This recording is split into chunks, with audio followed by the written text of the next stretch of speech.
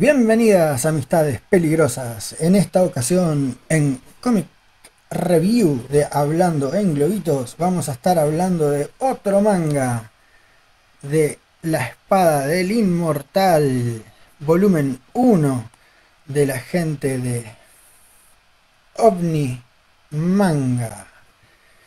Este es un manga bastante veterano, producido por el mangaka Hiroaki Samura,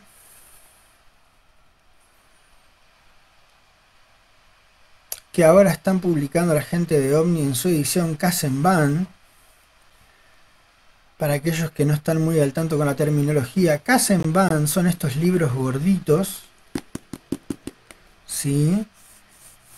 que traen dos tomos de 200 páginas en un solo tomo, o sea que son libros de 400 páginas, y que ayudan a hacer más expedita la colección completa de un título X, en este caso, la espada del inmortal.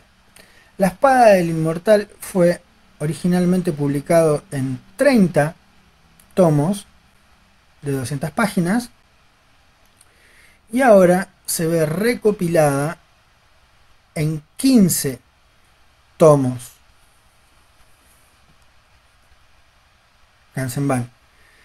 Eh, en estos lares lo publica OVNI y en Europa lo publicó Planeta. Ya está completo en Europa. Se pueden conseguir en Uruguay las dos versiones.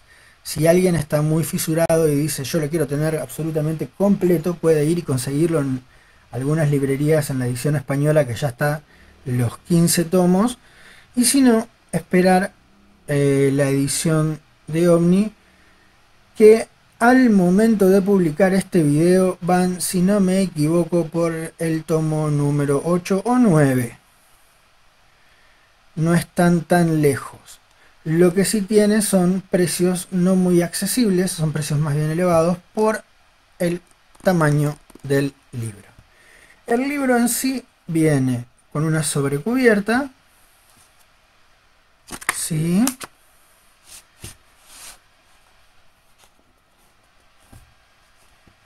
Que vamos a proceder a retirar ahora.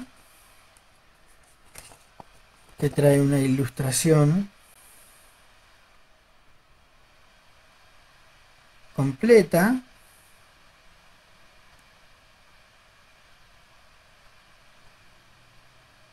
Se puede apreciar ahí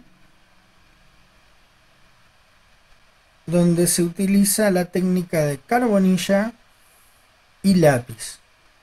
Una técnica que Hiroaki Samura va a utilizar a lo largo de todo el manga mezclándola además con tinta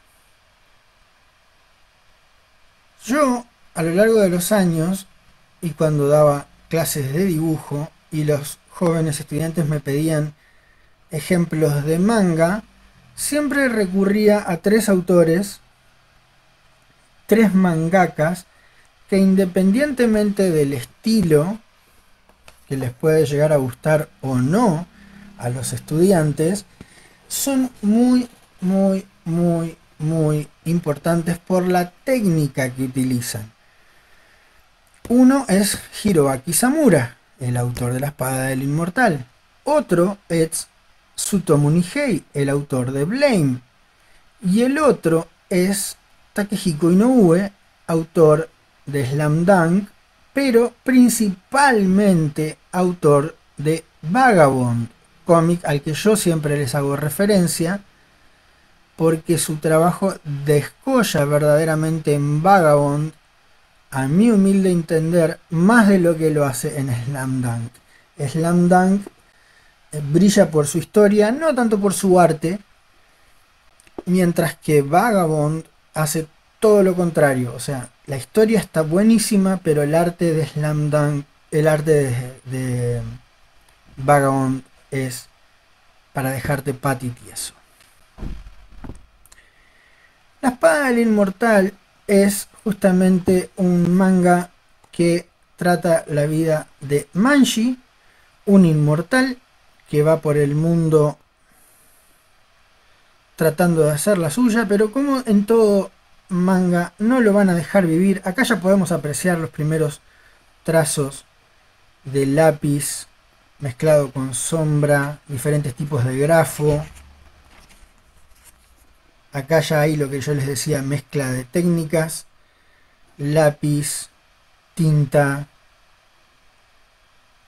en diferentes paneles, lo que hace la experiencia de la lectura un verdadero manjar y disfrute porque es algo totalmente innovador para la escena del manga.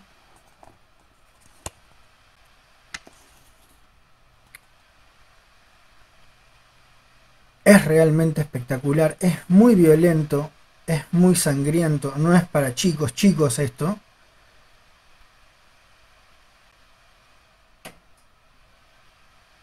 Los diálogos tampoco son amigables para criaturas. Este es un manga para adultos. Pero podemos ver en paneles como este como Manji está dibujado a tinta y en el siguiente está dibujado a lápiz. La historia es que él tiene una especie de gusanos internos que cada vez que lo hieren lo curan y lo ayudan a seguir viviendo. Tiene un arsenal de armas envidiable y es experto en varias técnicas de combate.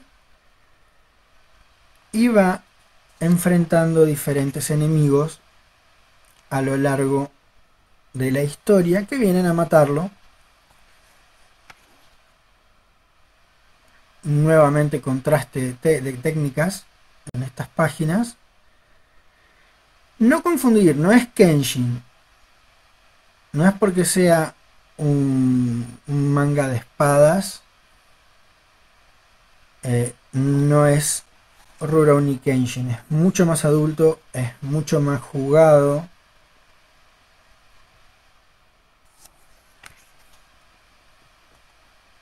Pero es, en definitiva, a la hora de hacer el, el balance de la historia garpa mucho más que Kenshin. Pero es un término medio entre lo que podría ser Kenshin y Vagabond. Es más aventurero. Después tenemos paneles como el de acá abajo donde una cabeza es cortada y se ve la cabeza cortada.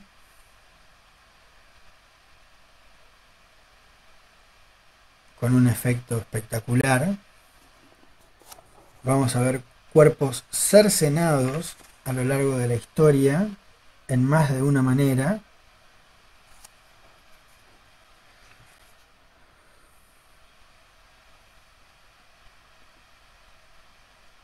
Yo este tomo lo tengo porque lo compré de oferta, de saldo, digamos.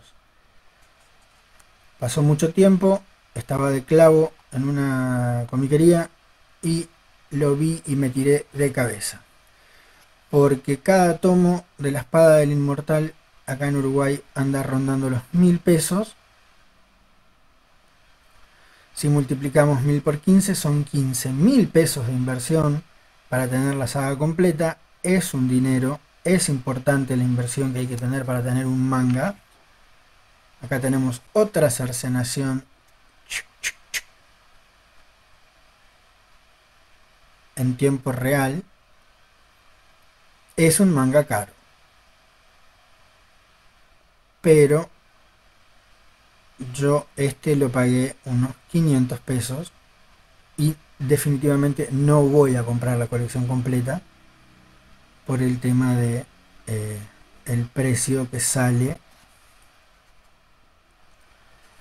a menos que salgan todos los volúmenes de oferta.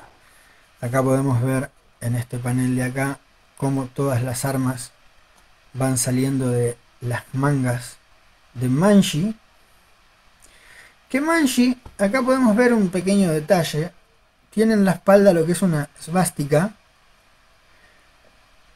pero no es la típica esvástica nazi, está invertida. En japonés, manji se llama la esvástica, pero está invertida porque para ellos manji es un símbolo de buena suerte.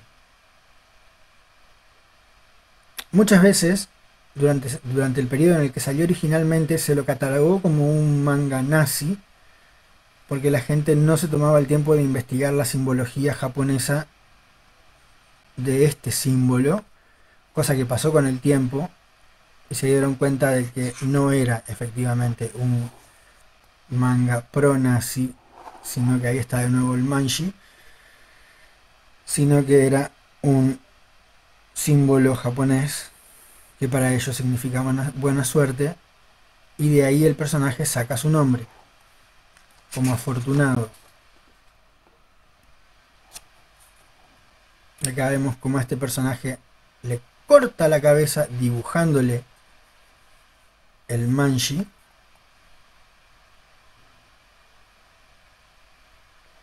La técnica en algunas páginas es muy barroca, es muy compleja, es muy complicada. Y en otras es muy simple. Haciendo una contrapartida brillante el trabajo de luz y sombras de Samura es espectacular.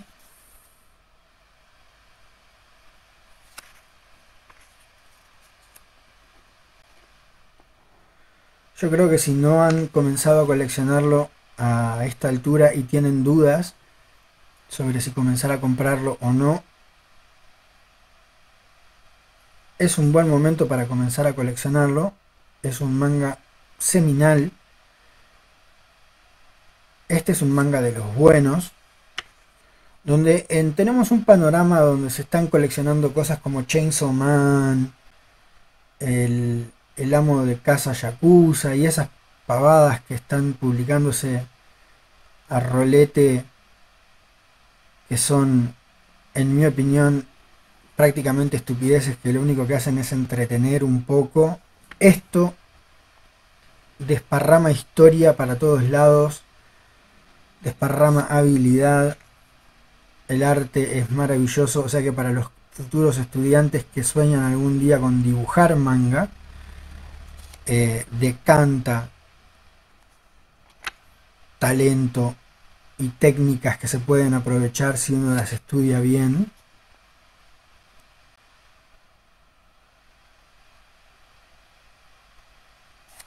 podemos ver más.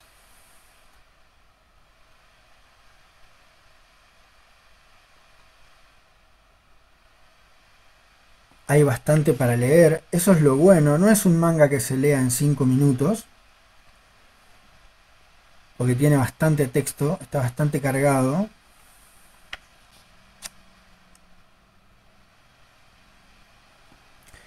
Lo que sí tiene como negativo es que no trae. El manga original en España traía notas, aclaraciones sobre las armas de Manji, las técnicas que usaba para envenenar a sus oponentes, los trucos que empleaba con cada tipo de arma, dónde las escondía, cómo servían, cómo se utilizaban, etcétera, etcétera, al final de cada tomo. Eso no está en la edición de OVNI. Está carente de todo ese tipo de cosas la edición de OVNI Manga.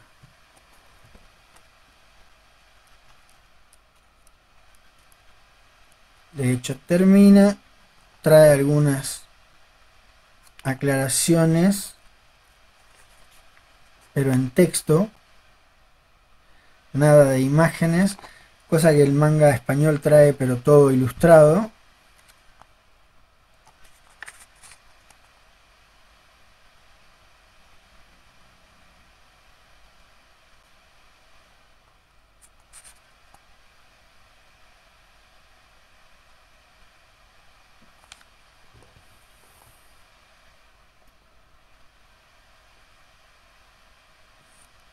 Pero en este estamos más pobres.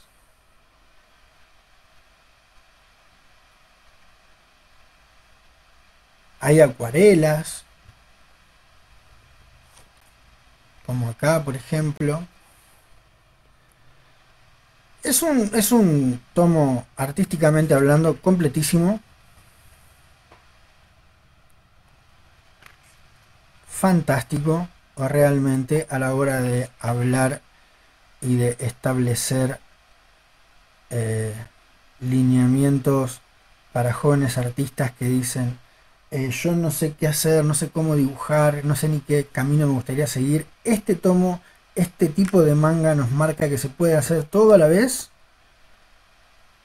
sin tenerle miedo a cambiar de técnicas dentro de la historia, ni siquiera dentro de la misma página. Ya que, por ejemplo, eh, Samura en algunas cosas se entintaba con palitos, ni siquiera con pinceles. Se puede ver acá en los pliegos que está entintado con palos. Y pasa de lo más simple a lo más complejo de las texturas, con los sombreados, con lápices 6B muy cargados y borrando detalles con la goma blanda.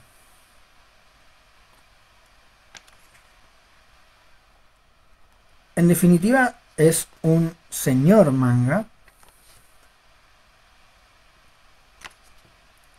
que tienen que tener en cuenta si te gusta tanto el manga de espadas y samuráis, como si te gusta el manga en general. Tener en cuenta la duración, ya les dije que son 15 tomos, que van aproximadamente por el tomo número 9. El costo en Argentina no sé cuánto es que cuesta, eso lo pueden chequear en la página de Instagram de OVNI o en la página de OVNIPress. Pero miren esta página, esto es una locura. Es realmente fantástico ver todo el trabajo que él se toma a la hora de, de renderizar árboles y todo esto. Esta página lápiz debe ser un empaste bochornoso de mirame y no me toques. Porque debe levantar una suciedad que cualquier cosa la debe manchar. A menos que se use fijador para lápiz después de que la termine de dibujar. No sé. Y después trata de, de obtener el mismo resultado pero con tinta. En paneles como este o este otro. Y esto ayuda mucho al clima a la generación del clima, que de vuelta volvemos al lápiz, pero con tinta abajo. Esto es tremendo, realmente tremendo. Sumamente recomendado para la biblioteca de todo amante del manga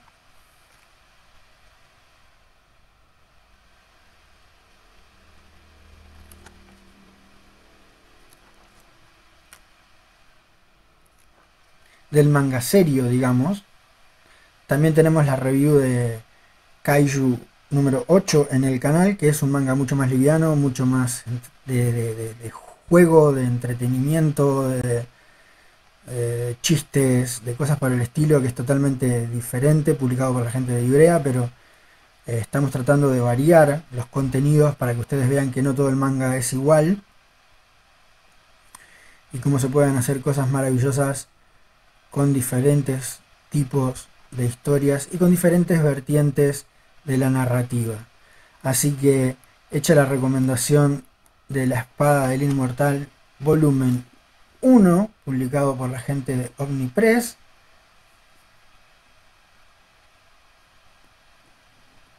Y realizado por el mangaka Hiroaki Samura, nos vamos a ir despidiendo de esta comic review de Hablando en Globitos, no sin antes recomendarles que le den me gusta a la publicación, que se suscriban al canal si todavía no lo han hecho, que le den a la campanita para saber cuando tenemos videos nuevos, como los comic review que solemos subir todos los lunes. Se vienen más reviews, se vienen más contenidos al canal Estén atentos, gracias por seguirnos. Nos vemos en la próxima y como siempre les digo, les mando un enorme abrazo.